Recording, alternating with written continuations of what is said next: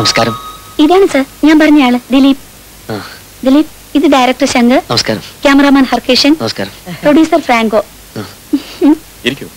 വേണ്ട ഞാൻ അവിടെ നിന്നോളൂ. ഇരിക്കുന്നു. No problem my dear boy.